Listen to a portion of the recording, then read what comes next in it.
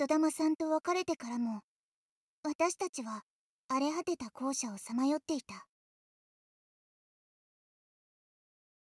成瀬先輩風音先輩ひかりちゃんはまだ見つからない。どんなに歩いても出会えない。どんなに呼びかけても返事はない。不安と苛立ちが募るばかりで私たちはかなり疲れ切ってたんだと思う。なりちゃんと千早ちゃんが喧嘩した。口喧嘩はいつものことできっとまたすぐ仲直りするだろうと思っていた。なのにその時は少し違っていた。も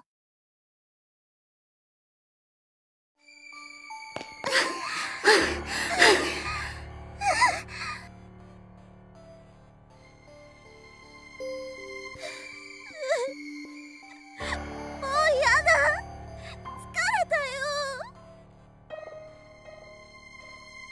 ちゃんさっきの幽霊多分まだついてきてるよ。あともうちょっとだけ頑張ろう。ね。ナナちゃん私もう走れないよ。千早あんたね。さっきから疲れたとか走れないとかいちいちうるさい。何度同じこと言えば気が済むわけ？いい加減黙って走りなさいよ！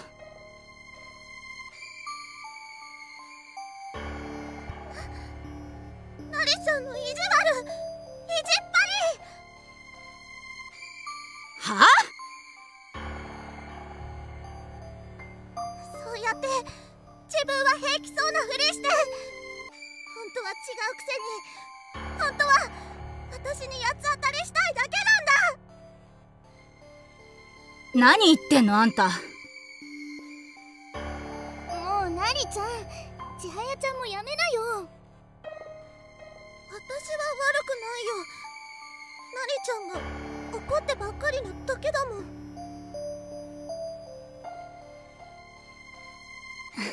人のせいにしないでよ。そもそもあんたがイラつかせるから悪いんでしょ？同じところを歩いて走って本当に疲れたんだもんそれにこんなとこにいたら誰だって頭がおかしくなっちゃうよなりちゃんだってそう絶対そうに決まってる勝手に決めないでよ。ととりあえず二人とも落ち着こう。ね。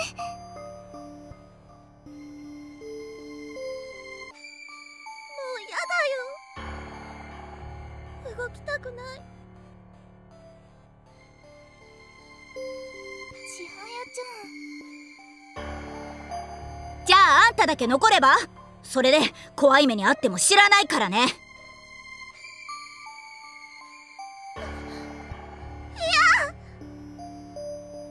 嫌じゃない。だって足痛いんでしょ？疲れたんでしょ？なら一人でここに残ればいいじゃない。いや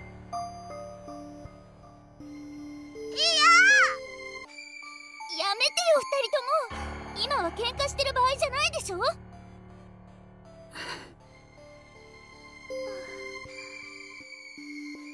え幽霊も近くまで来てるかもしれないよ。とにかく今は隠れられるとこ探そう。私。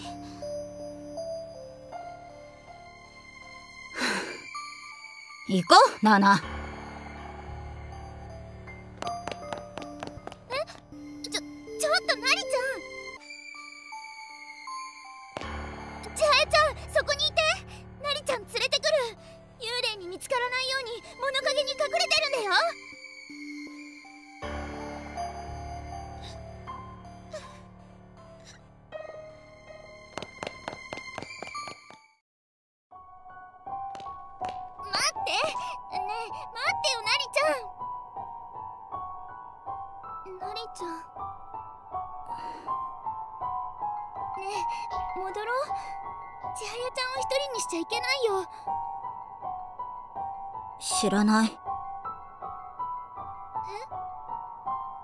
知らないわよ千早なんて。な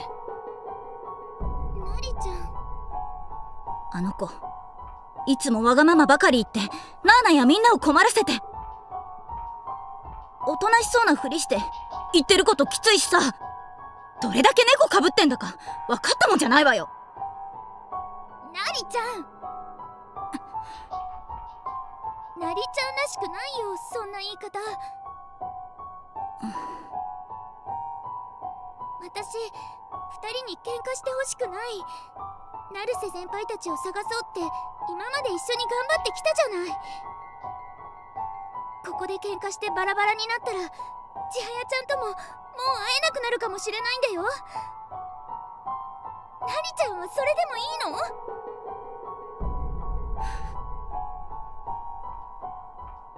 ねえ戻ろう。なりちゃんだって言い過ぎたって思ってるんでしょ？千早ちゃんもなりちゃんと喧嘩したかったわけじゃないと思う。怖くて怖くて先が見えない不安に押しつぶされそうになるの。ちょっとわかるもの。でもそんな時こそ離れ離れになっちゃいけないんだよ。なあな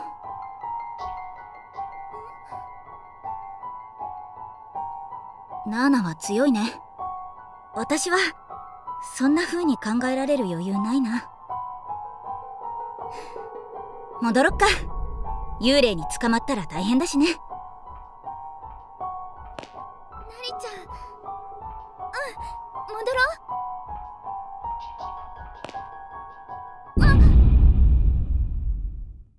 う。どうしたの？ナナ。学生証が床の隙間に落ちちゃった。なりちゃんは先に行ってて。えでも大丈夫だから千早ちゃんとこに早く戻ってあげてじゃあ先に行ってるけど、ナーナもすぐにおいでよ。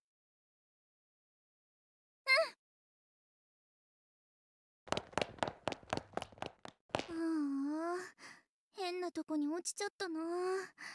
途中で引っかかってくれたのはいいんだけど。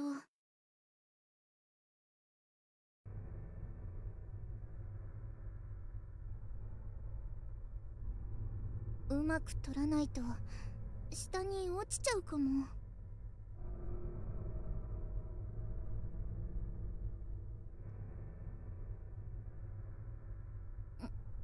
あと少し。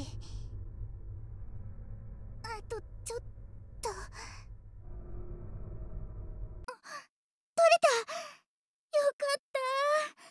急いで戻らないと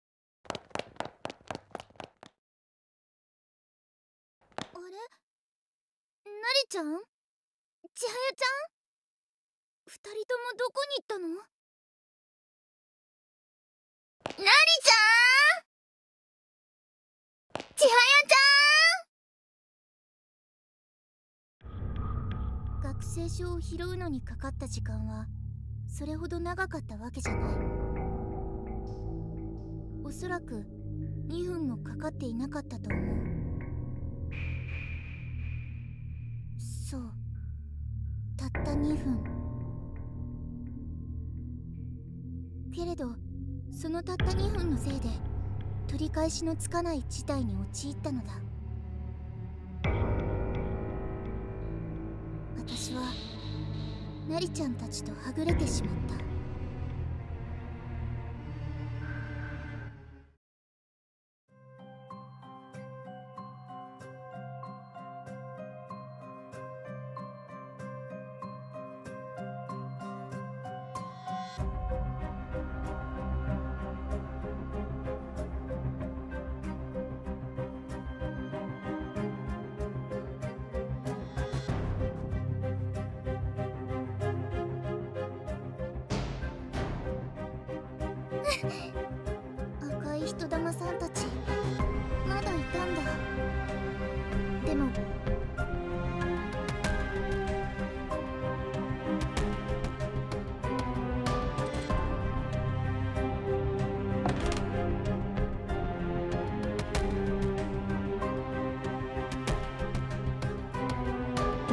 探しているのか？混沌と絶望整頓とお片付けきっとどこかに埋まっているよ。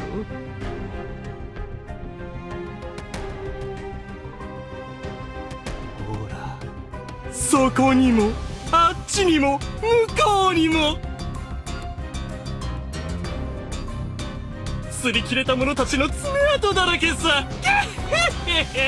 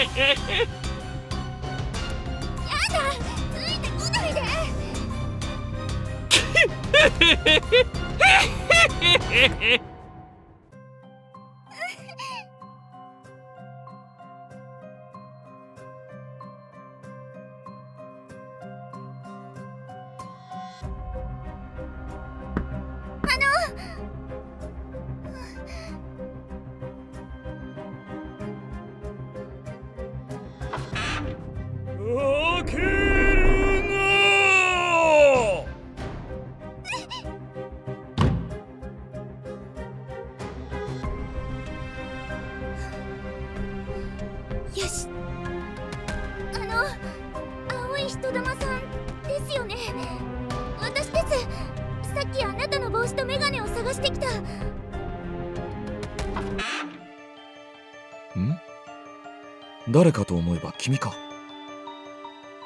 青い人玉さんまだいたんですね。ああ。僕はこの場所に縛られているからね。移動することはできないんだよ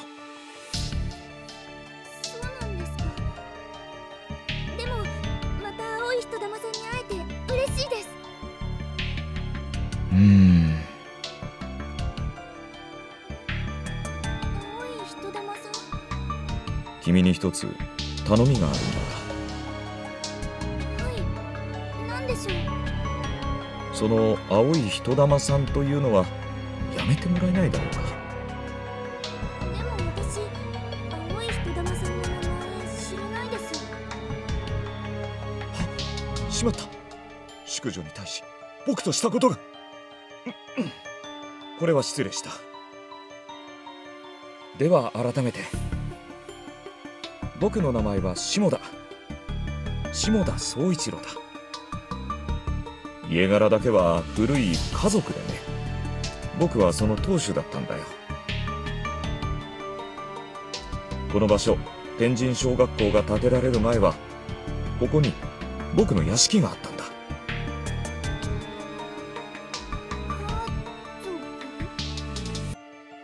要は血筋を大事にする古い一族さ。僕は少し未練があってここから離れられなくなってしまった。それで君の名は？私は小笠原奈々と言います。武蔵川女子中学校の1年生です。小笠原奈々か。いい名だな。ところで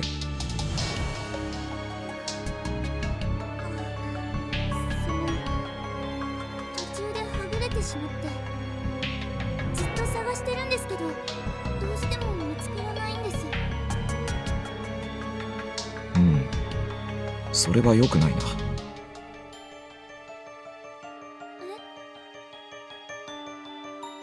これまで粛清してきた子供たちの話によるとこの学校では不思議な現象が起きているらしくてね。声は聞こえるのに姿は見えない。一度通った場所をもう一度通るとそこにあった遺体がまるで何年も経っているかのように白骨化していった。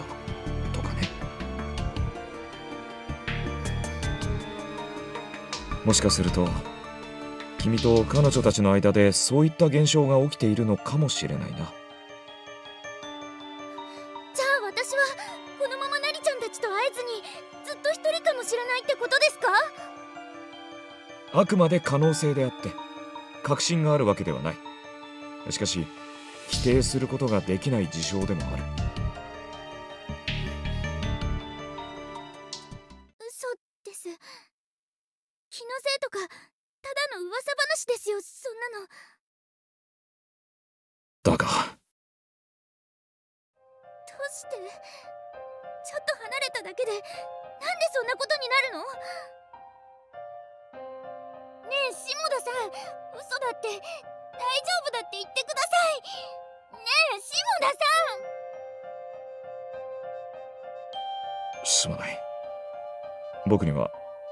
定することができない。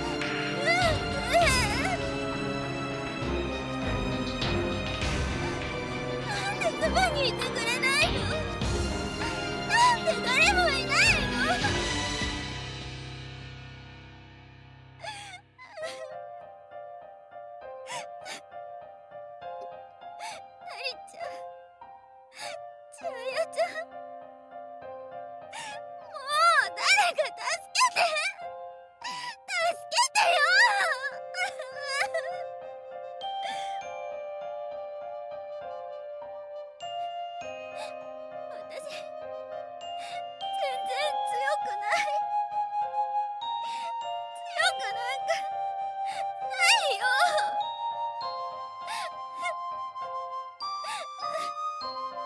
ナナ人は皆弱いものだ。どんなに心が強い人間であっても必ず弱い部分はある。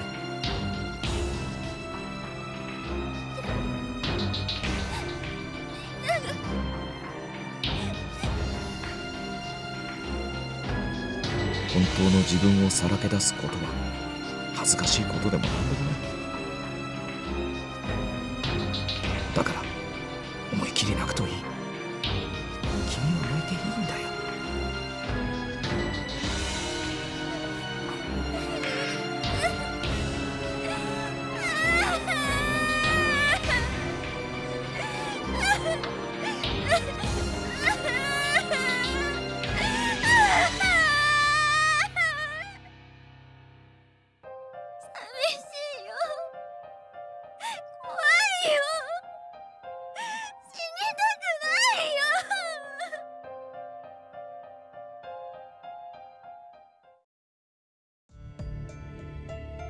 落ち着いたかい？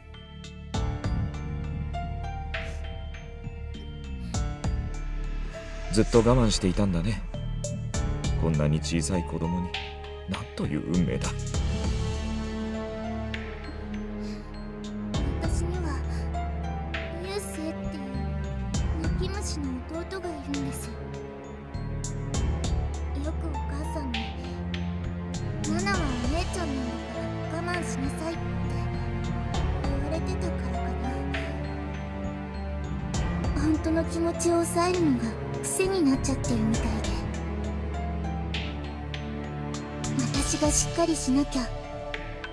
しなきゃってつい。なりちゃんには多分それが分かってて。なりちゃんと千早ちゃんって意外と似てるとこあるんですよね。ちょっときつい言い方しちゃうとことか。自覚はないみたいですけど。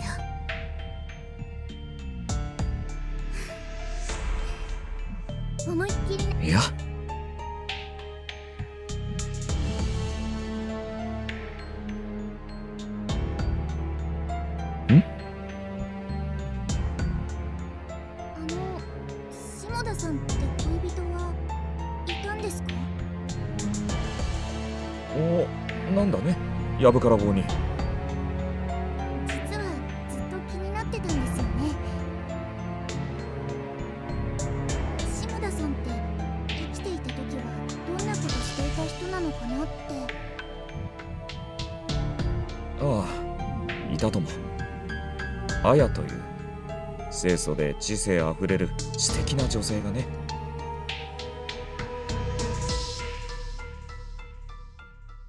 彼女とは知人を通して知り合ったんだ。お互いに一目惚れでね。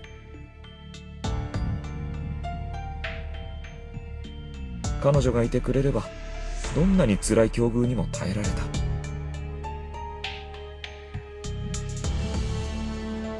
私が生きていた時代は列強に追いつくべく早急に西洋文化を学び取り入れなければならなかった波乱の時代でね。多くの男たちが強い信念と志を抱いて海を渡っていった。僕もその一人でね。生まれつき体が強くなかった彼女を置いていくのは忍びなかったが彼女の後押しもあって船に乗り込んだ。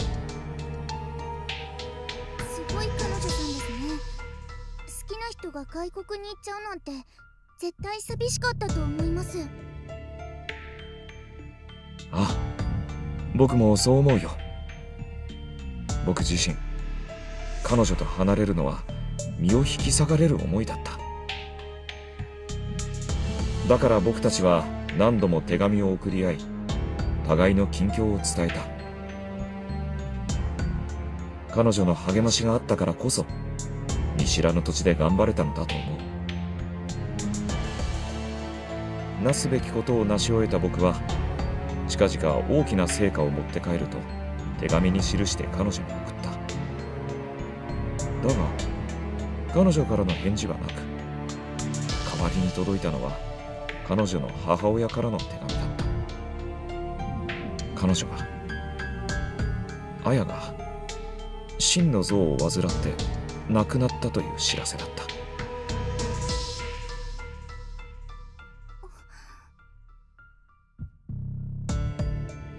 僕は何も知らなかった。いや知らされていなかった。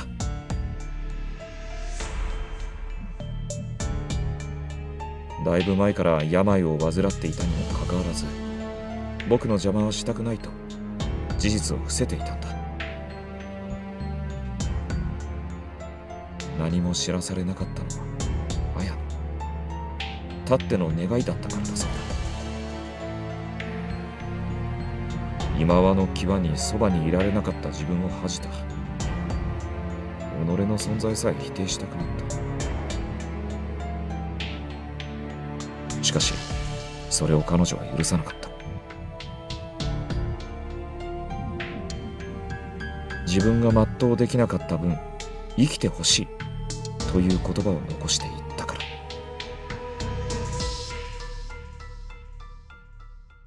これは？渡航先から僕が彼女に送ったネックレスでね。肌身離さずつけてくれていたらしい。僕はこのネックレスに誓ったんだ。綾の分まで生きて生きて生き抜いてみせるとささか生への執着が強すぎたようでね。死んだ後も成仏できずにこの土地に残っているというわけさ。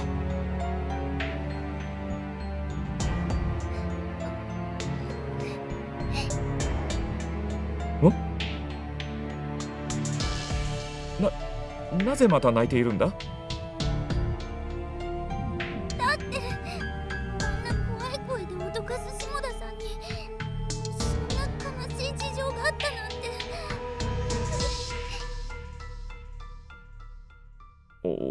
かすとは心外だな。僕はぶしつけに扉を開ける輩に忠告をだね。分かってますよ。下田さんって意外と親しみやすい人だったんですね。それは褒めているのか？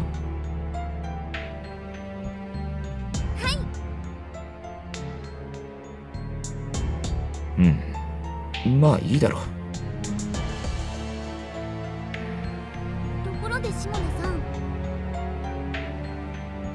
なんだね？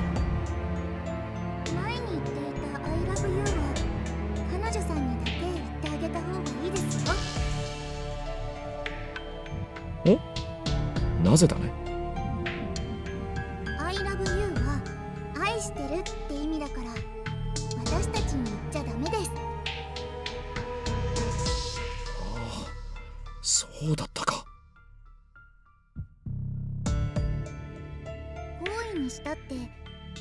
イクは使い分けないとでしょ？うーん。では I like you こうか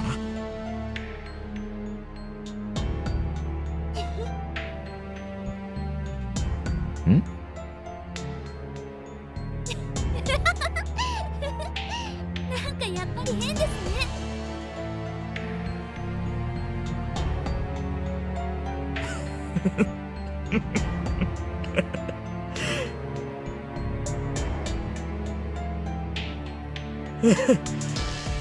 君が言えと言ったんだろ笑うのはどうかと思うが下田さんだって笑ったじゃないですか。僕はいいんだ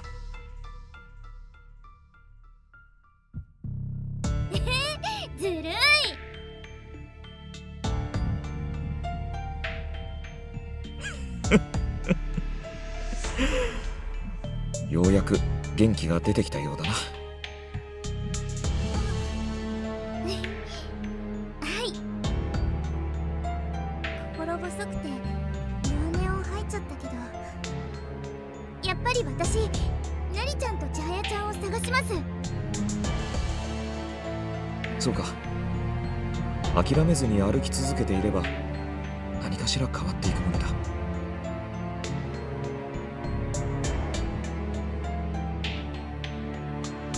状況をも打破する力を人は持っている。まずは自分を信じることだ。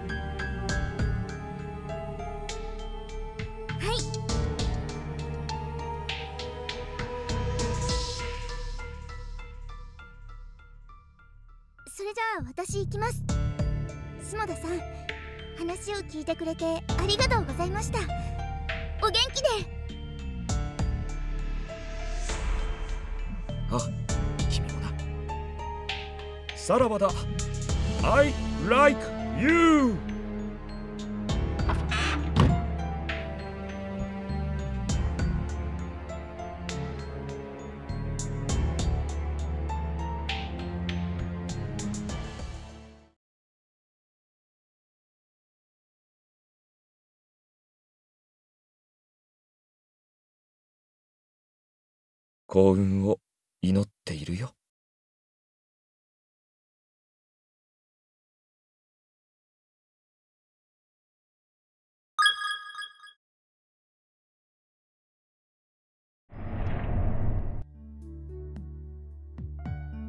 田口さんいつ帰るの？僕の顔見るたびにそれ言うのやめてくれないかな？時間経ってるでしょ？うちに来て。まだ10分経ってないよ！なほくんそう田口くんをいじめないでくれたまえ。明日も助手として僕の取材の手伝いをしてくれる予定なんだ。先生。でも最近うちに来る頻度どんどん高くなってるしそろそろ厚かましいかなーなんて。長いしすぎです。普通自分で空気を読むものなんだけどな。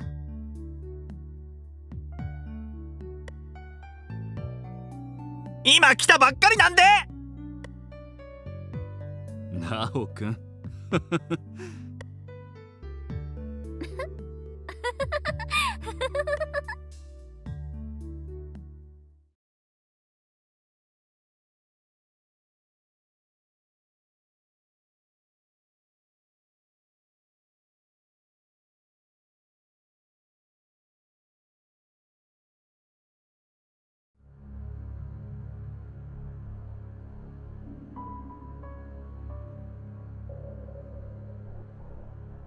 さん今日の運勢って大級だったっけ？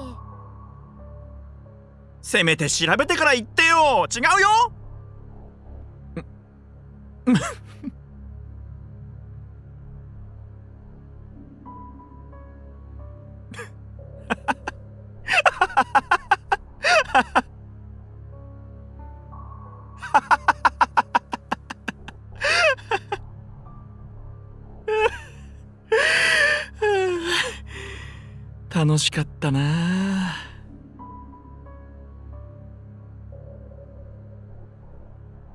生はどこへ行ってしまったんだ？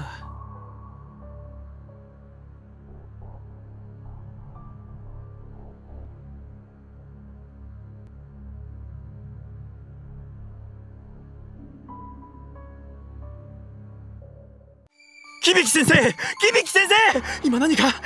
今何かいましたよ！どこだね？こっちです！こっちあ君待って待ってくれ。ま大丈夫か？すみません。なんか踏んでカメラ無事ですか？ああ。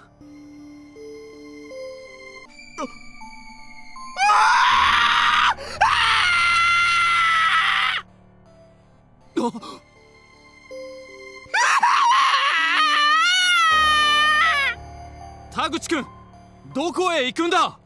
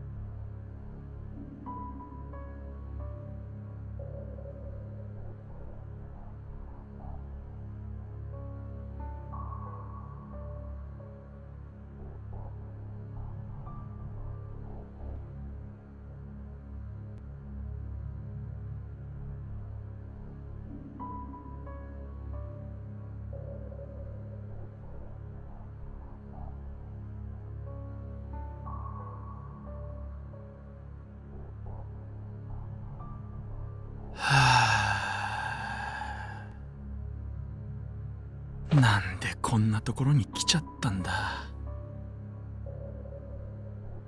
唯一の脱出法って言われてた逆打ちの仕方をなんで先に先生から教わらなかったんだよ。僕はどこまでバカなんだ？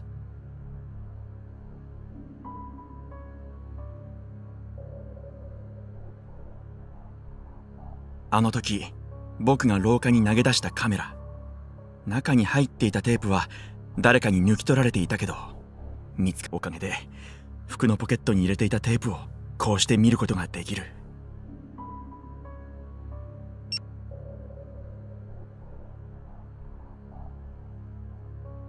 ナホくんダメだ。そんなもので殴ったら田口くんが死んでしまう。先生！私の付箋シール勝手に使うからでしょ？これさやかと愛子にもらった大事なものなんだから。土下座するよ！土下座！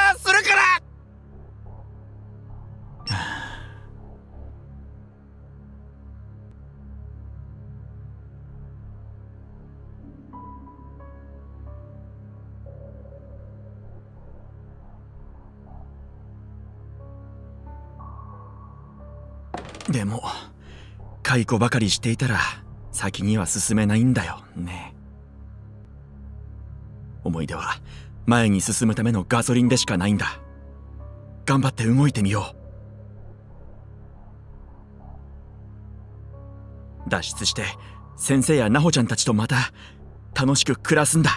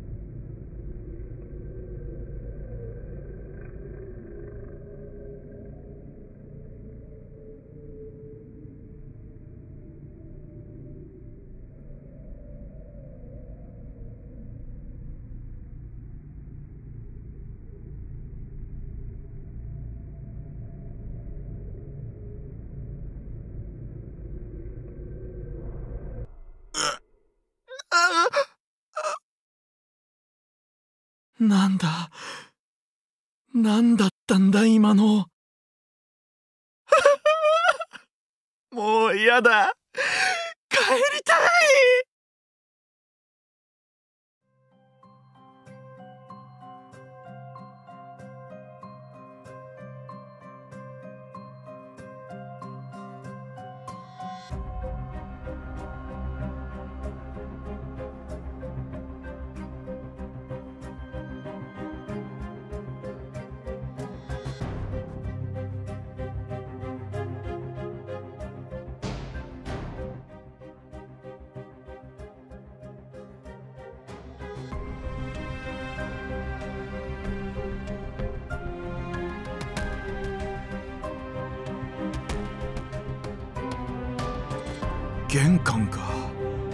ひょっとして出られるようになっているかもしれない。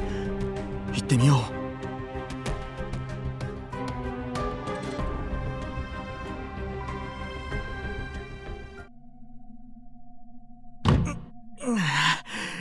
う。やっぱりダメだ。びくともしないや。そんなに甘くはないか。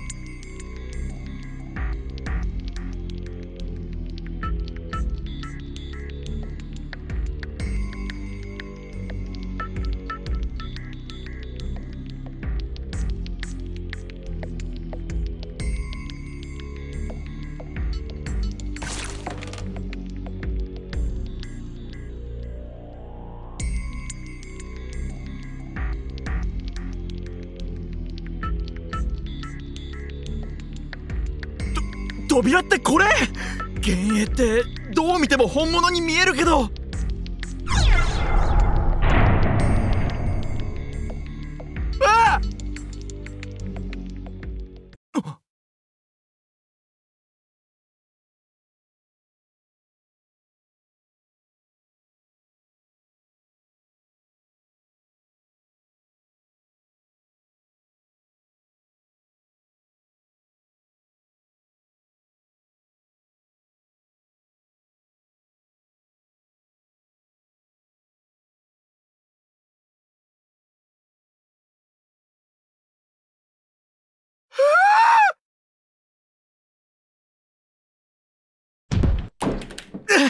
しまった。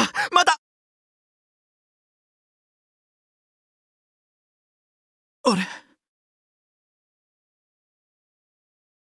あれ？そんな。嘘だろ。う壊れた。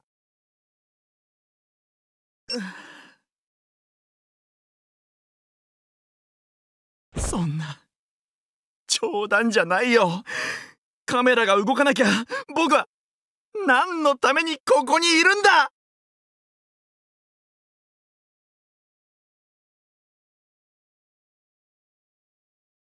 くそ！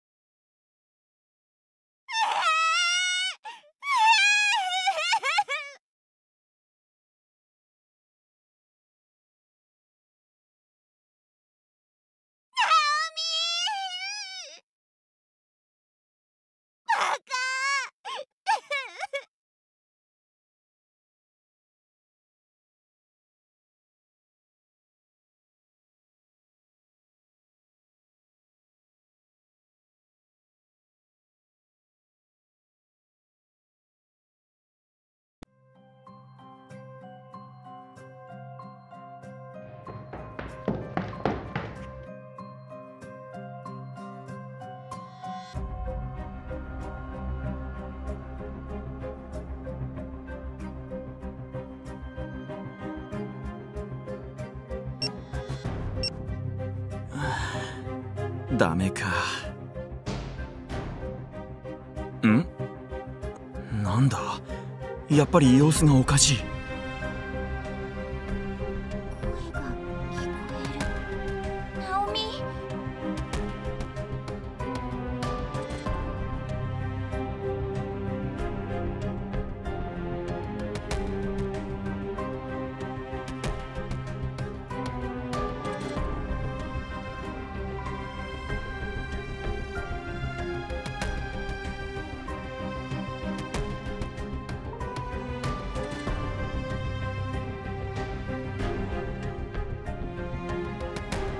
プレートがある。用務員室。か。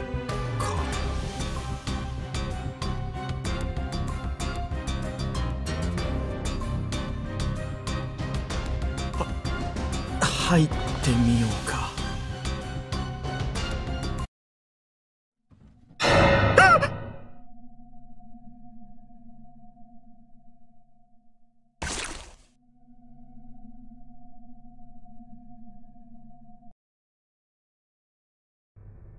誰もいない。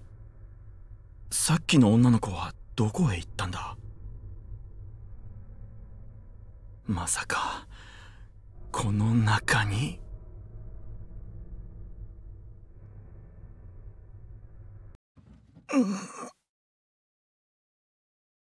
何もいないか。ん？なんだかこの中から空気の流れを感じる。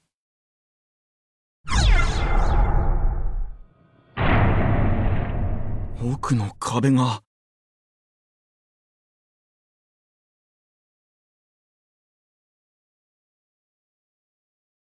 ああ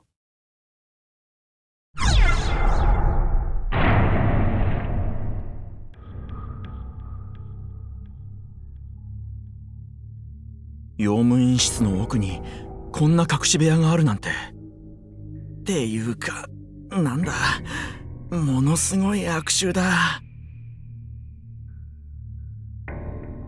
もしかしてここは昔のトイレ？あれははしご。上の方につながってる。この匂い。それにしても用務員室からトイレの下だなんて。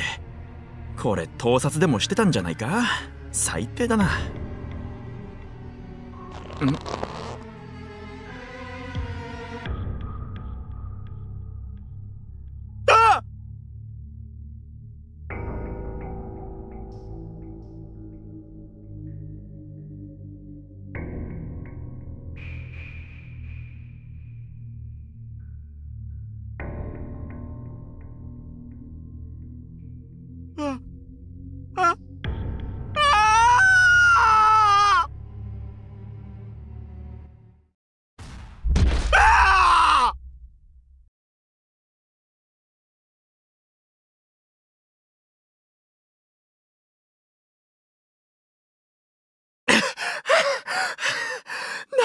よあれ。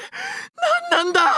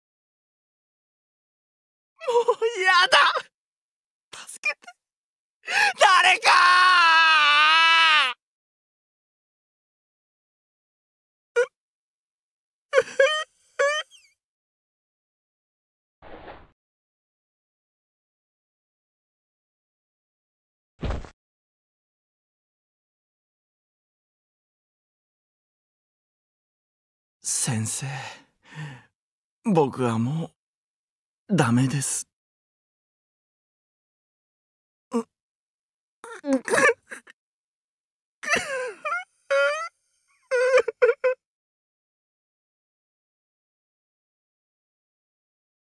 弱虫。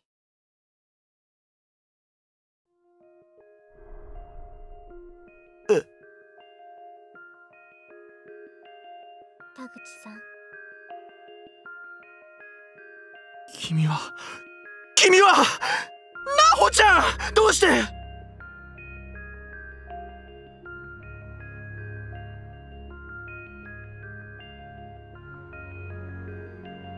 確か君には内緒で先生と二人で来たのに。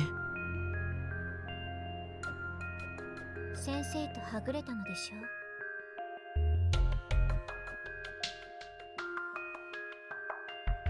うんそうなんだ。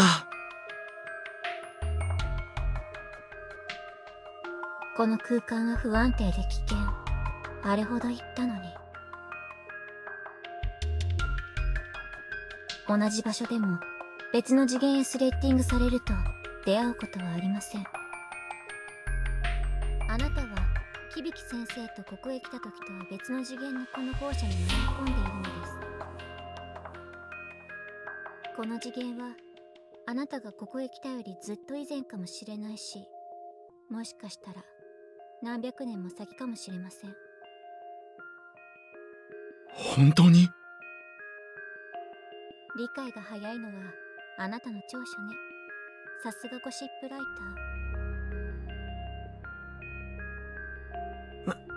ター。なほちゃん。出会えて嬉しいよ。追いかけてきてくれたんだねとにかく一緒にここを出ようよ。先生を探して。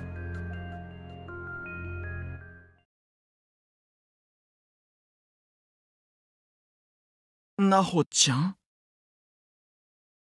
私はもう死んでいます。え？そんな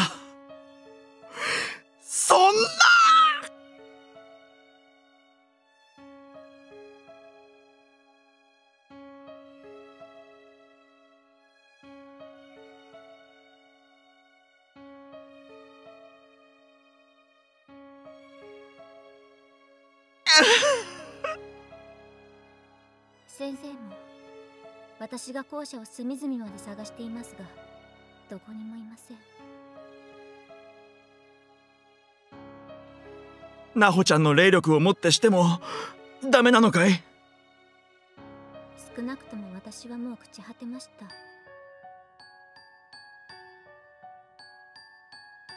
あ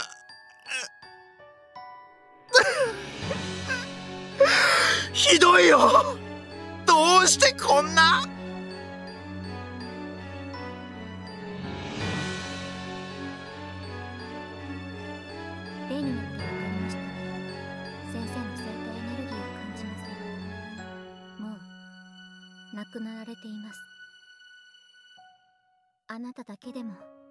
逃げ出す方法を探るのです。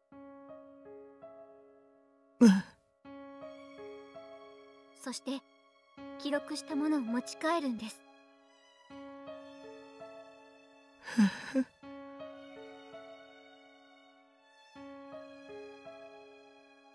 田口さん。先生も奈穂ちゃんもいない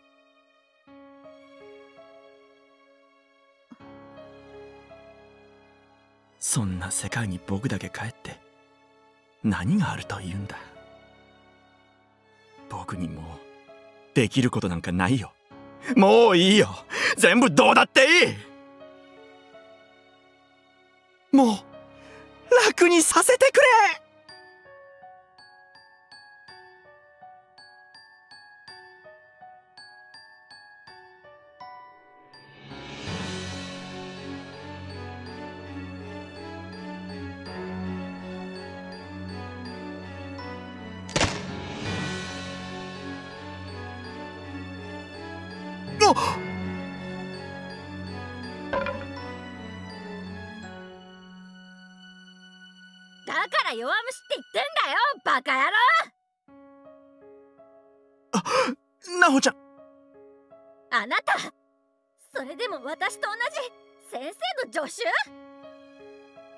先生があなたを助けようとしてくれているのがどうしてわからないの？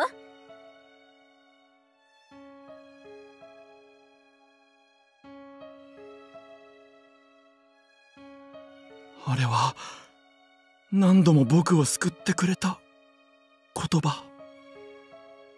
筆跡でわからない？あれは先生が助けてくれているのよ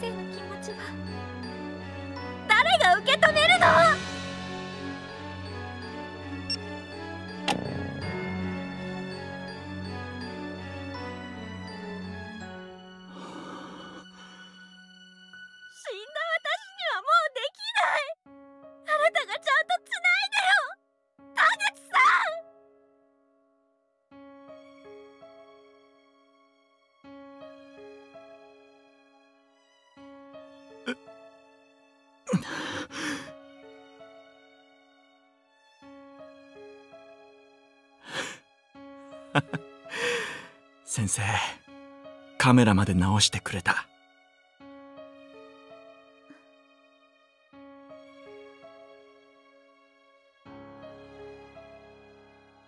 僕の使命は。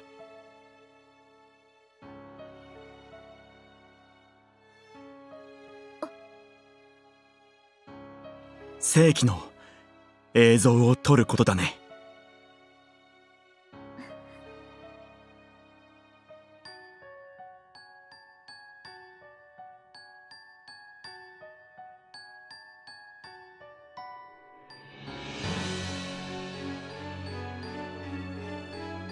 僕は田口翔吾。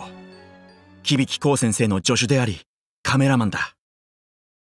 先生とはぐれてしまったが僕は先生との約束通り何があっても撮り続けようと思う。最後まで記録し続けて。やめて！この事実を僕の生きた証として残すんんだ？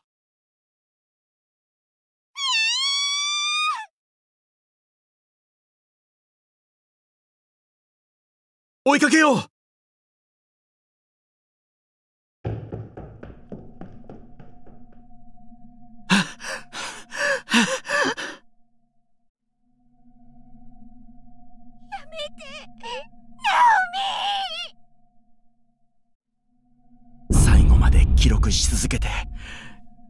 次の人に未来をつなげてもらうんだ。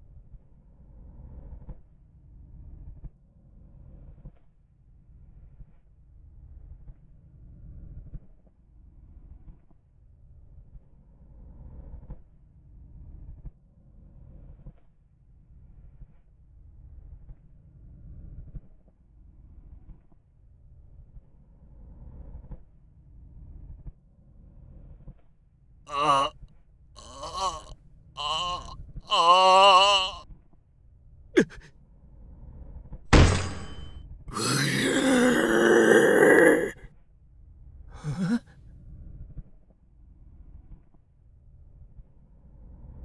くっそふざけやがって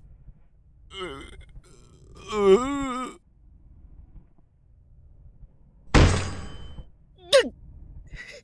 なんなんだよてめえなぶり殺しにでもするつもりか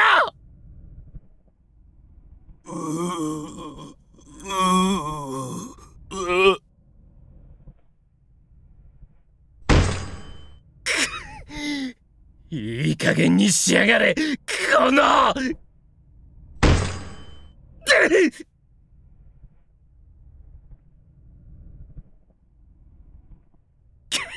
動けよ足う動け動け動け動け動け動け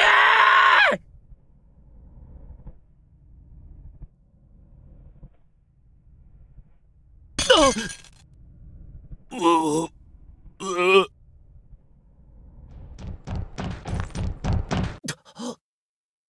あ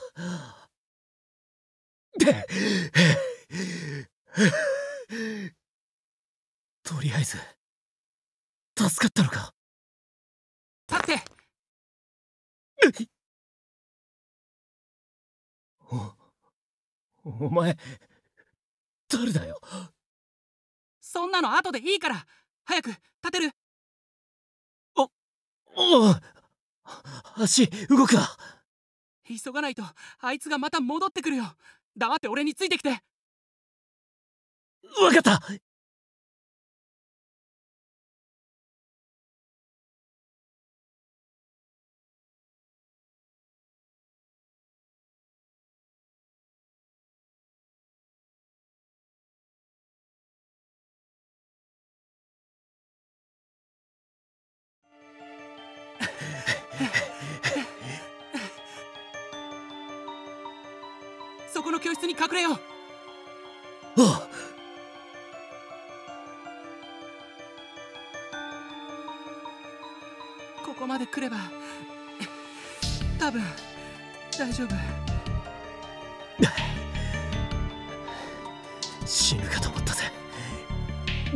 知らねえが助かった。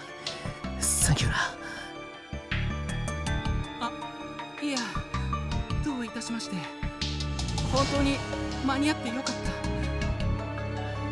た。外でなんか割れる音がした。あの化け物の気をそらしてくれたの。あれお前。おかげで命拾いしたぜ。俺は如月学園って学校の2年岸沼だああ俺は白檀高等学校2年の大川智弘よろしく岸野君あ。あ。お前えな何？なんで目合わせねえんだ？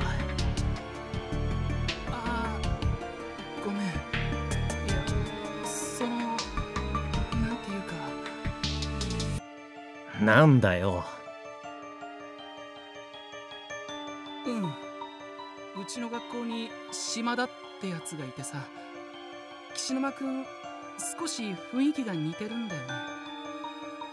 へき気分を悪くしないでほしいんだけど条件反射というかなんか癖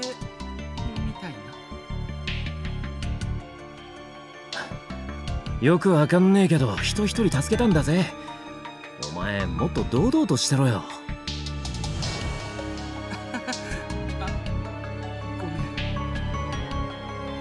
おいおい。さっきから謝ってばっかだね。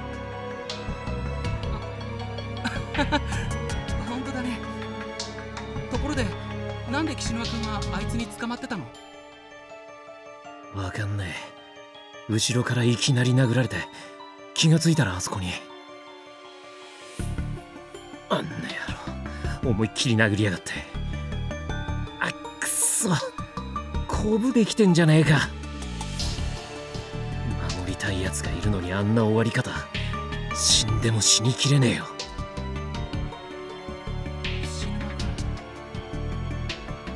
しかし俺たち以外にまともに話ができる人間がいるとは思わなかったぜ。そうだね。俺もあいた。腕どうかしたのか？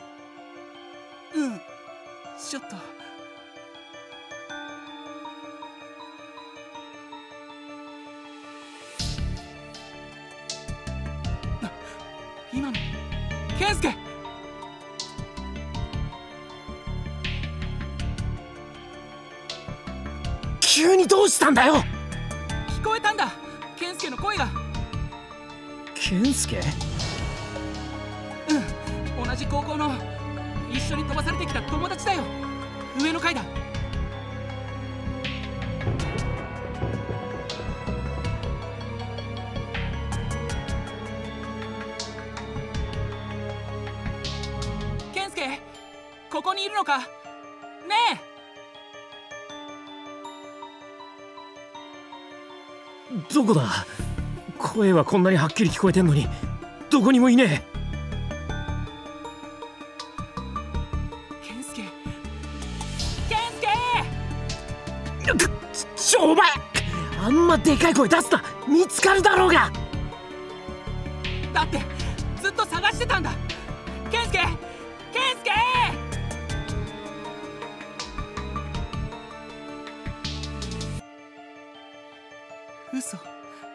なんで聞こえないんだよ。健介俺はここだよ。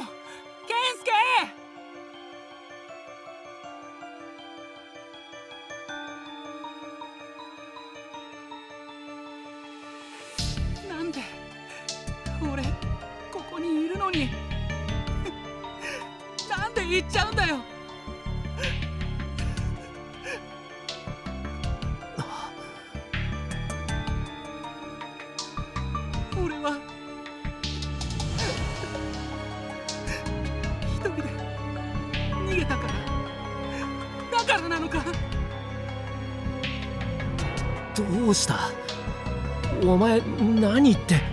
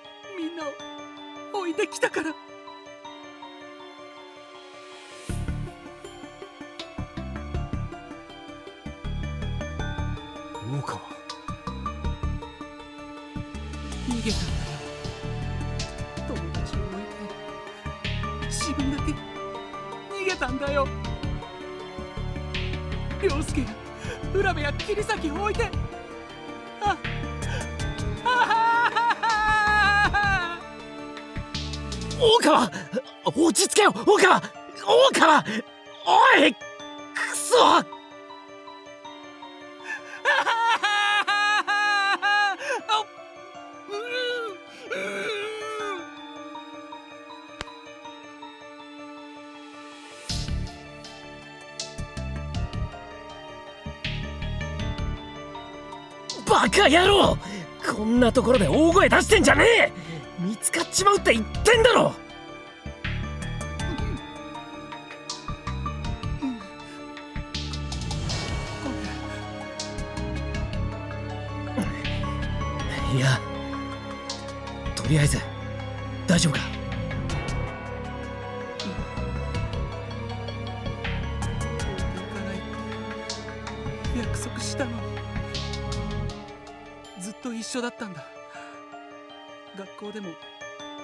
時もいつも一緒にいたのに。涼介ごめんな。ごめんな。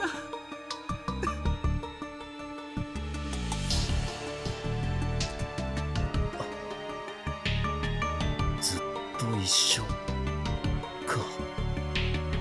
大川お前だけじゃねえよ。多分俺もそうだ。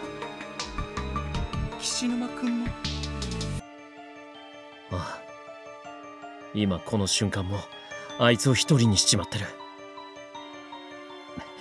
とにかくよ。後ろばっか見ねえでこれからできることだけ考えようぜ。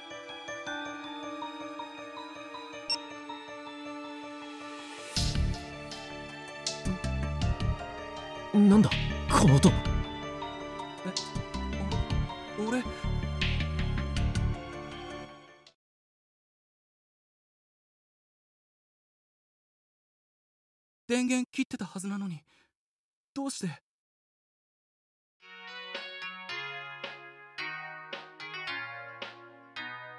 ラブミラクル君にキュンキュン革命プラス？なんだこれ？え知らない？今人気の恋愛シミュレーションゲームだよ。CM くらい見たことあるんじゃない？知らねえな。バイトが忙しくてあんまテレビ見てねえから。嘘信じられない。うっせえ！つうかそれ電源切っとけよ。ゲームやってる場合じゃねえだろ！そうなんだけど。あ何これ？勝手に動いてる。何？こんなことってありなのか？でも幽霊とか普通にいるところだしあってもおかしくないかも勝手に遊び始めるゲーム機か。篠崎が前に言ってた霊障ってのか？いやああーなんだえポポルポルポルターガイスト。そうそれだ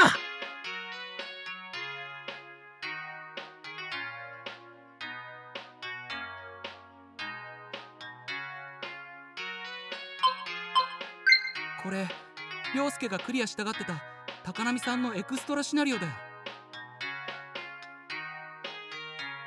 もう遊べなくなっちゃったけど。まさかその涼介ってやつは？うん。生きてない。マジか。涼介足に大怪我してて血が止まらずにどんどん冷たくなっていくの。分かったんだ。本当は分かってたのに。認めたくなかった。だからあいつに言ったんだ。大川！人殺しって。言っちゃったんだ。冷たくなった涼介。を階段から蹴り落としたから。くそ絶対許さない。なんだそりゃ。ひでえ仲間がいたもんだな。もっと生きたかったよな。もっとゲームやりたかったよな。助けてあげられなくてごめん。ごめんよ。涼介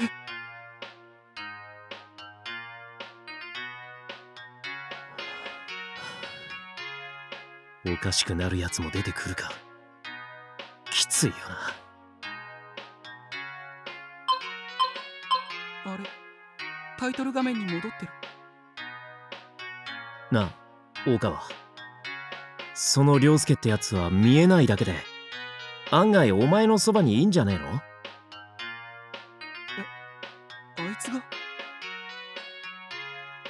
気休めかもしんねえけどよそれもそいつがお前に何か伝えたくて動かしたとかさ。涼介。だったらよそのゲーム機があればいつでもそいつと遊べんじゃねえか？岸沼君。おいなんだよいきなり抱きつくな！ありがとう岸沼君。気休めでもいい。すごく嬉しい涼介の霊ならいつでも来いだよ。ああ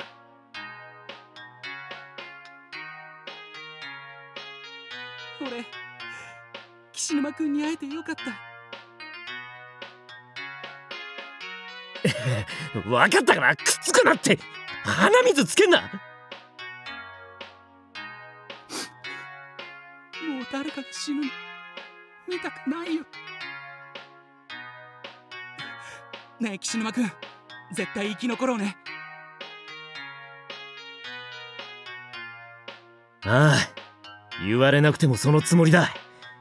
こんなふざけたところをとっとと脱出してやる。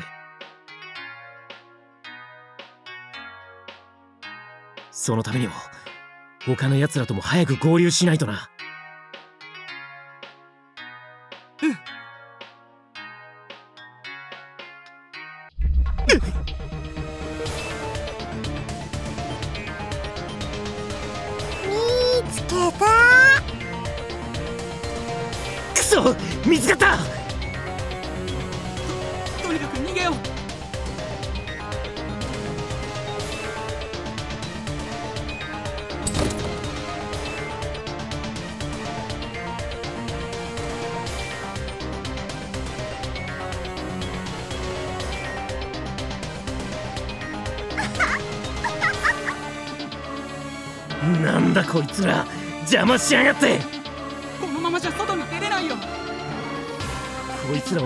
引きつけておけるといいんだが。お前なんか持ってねえか？子供が喜びそうなもんとかよ。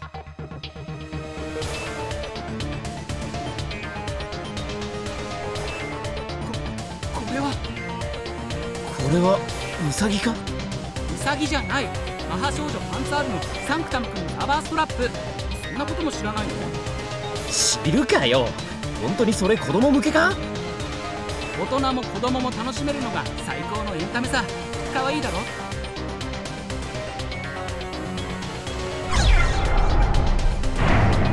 なんか怪しいぞ。俺はコンビニのバイトをしてるが子供用のお菓子コーナーにそのキャラの商品はなかった。むしろ大人が買ってく9時の方で見たことある気がする。ああそれ俺も買ったよ。ラストワン賞がサンクタム君の髪飾りさじゃあ子供にはポンコツじゃねえか。あ。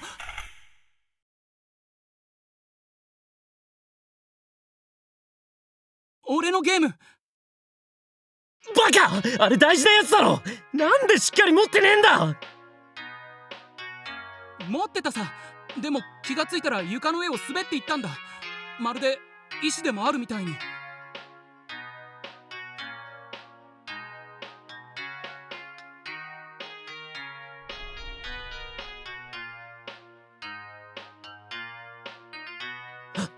しかしたら。じやっぱダメか！え？うわすげえ！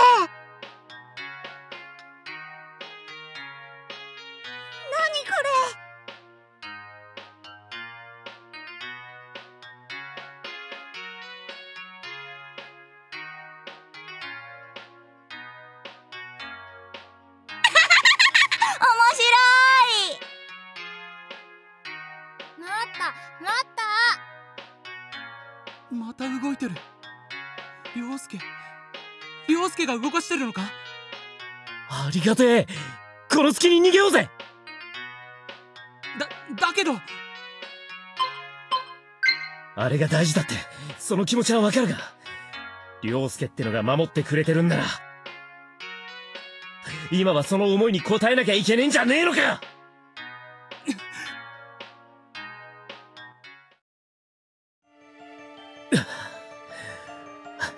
お前のダチに助けられたな。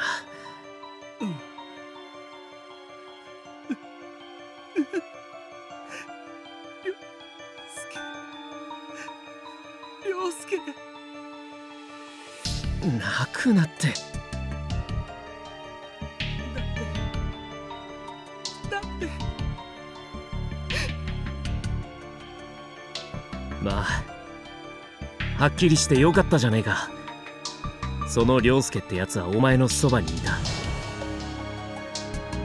ゲームは置いてきたが多分これからもお前のことを影から助けてくれるんじゃねえか。いいやつだな。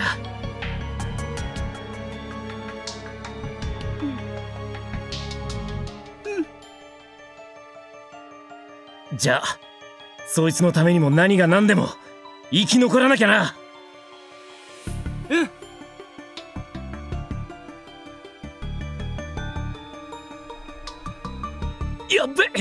来やがった。逃げるぞ！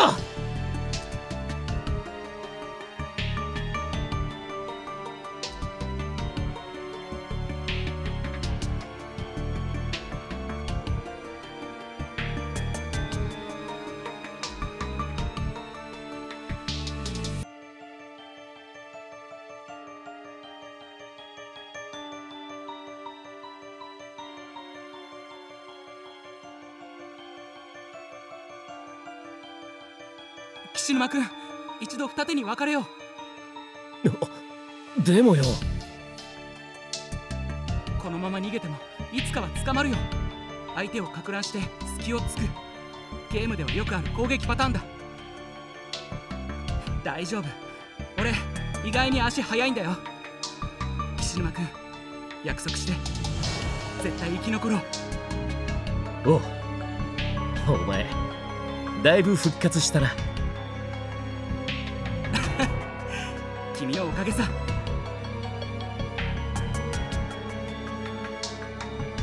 よし。行け！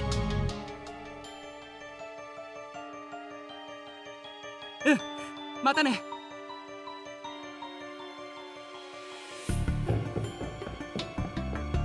行っちまいやがった。あいつ本当に足速いんだな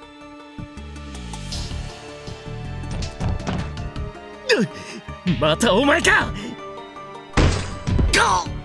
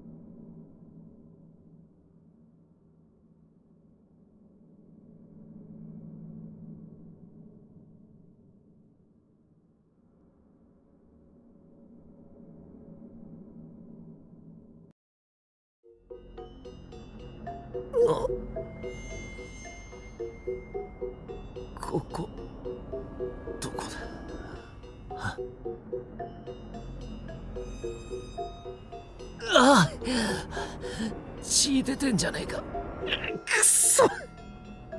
た確か。薄暗い部屋に監禁されてハンマーを持ったやつに殺されそうになってそれから。それから。ダメだ。やっぱ思い出せねえ。けどなんだ。誰かの顔がなんとなく。こいつに助けられたのかああ頭痛いどれくらい気を失ってたんだ早く篠崎のやつを見つけてやらないと待ってろよ篠崎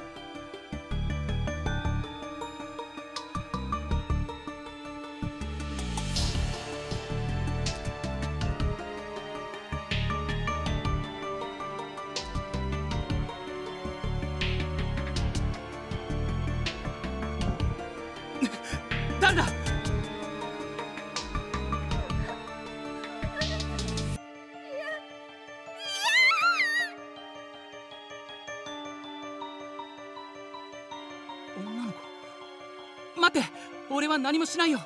だから大きな声出さないで。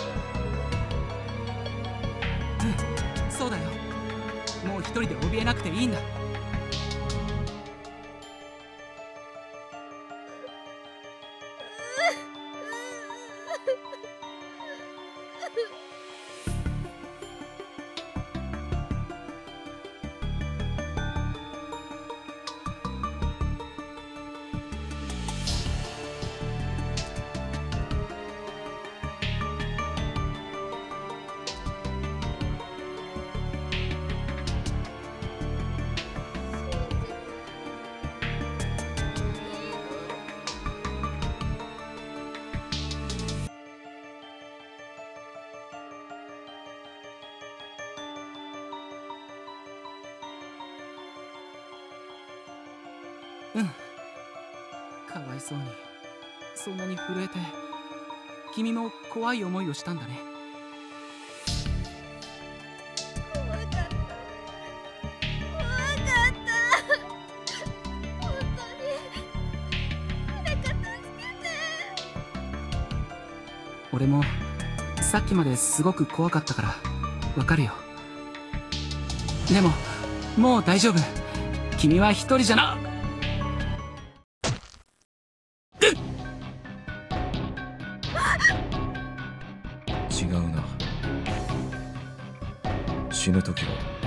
誰もが一人。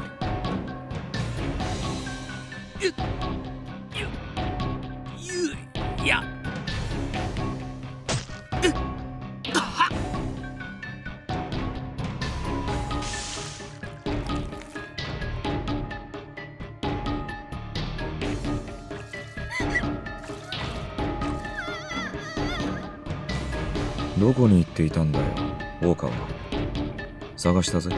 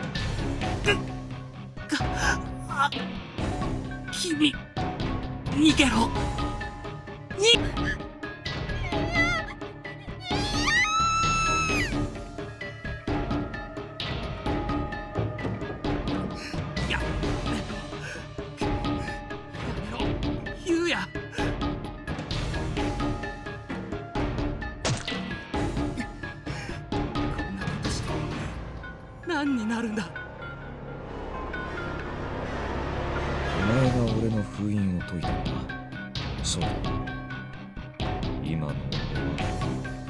俺は優也じゃない。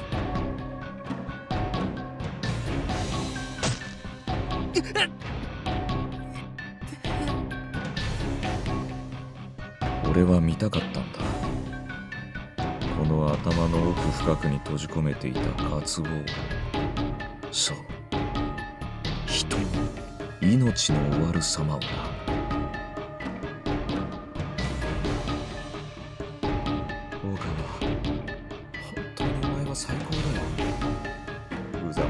いずり転げ回ってわめき散らず。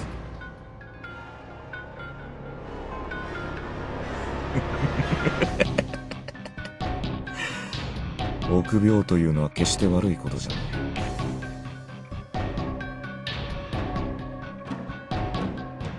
危険をいち早く察知する。賢い能力の一つと言っても。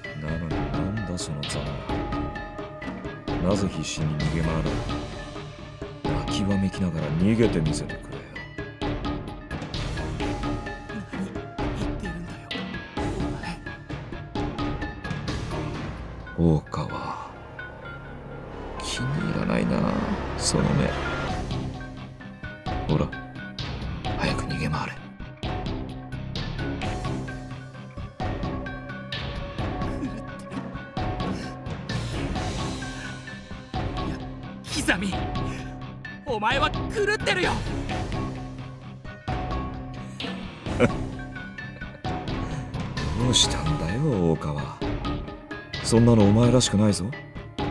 あいつくばれ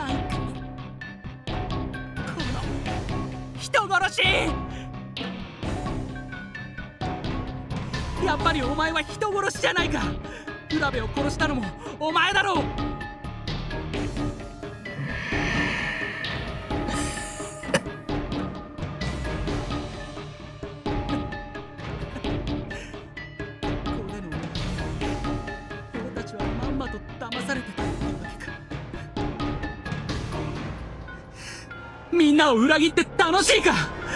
みんなを傷つけて楽しいのかよ？お前は最低な奴だ！俺は俺はお前を絶対許さない！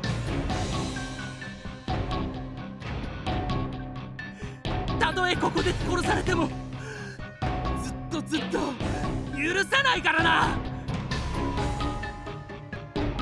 言いたいことは？それだけか。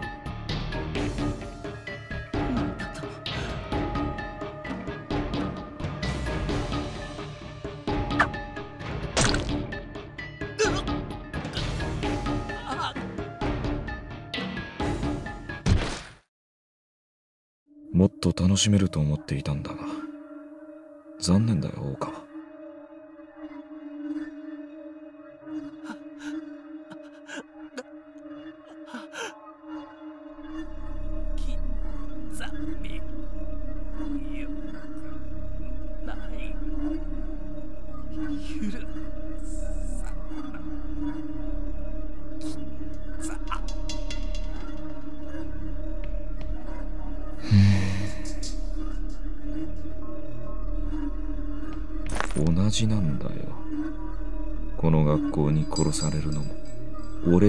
されるの？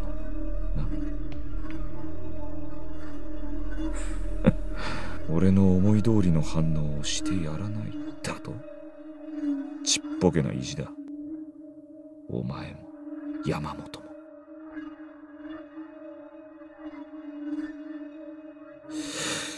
はい。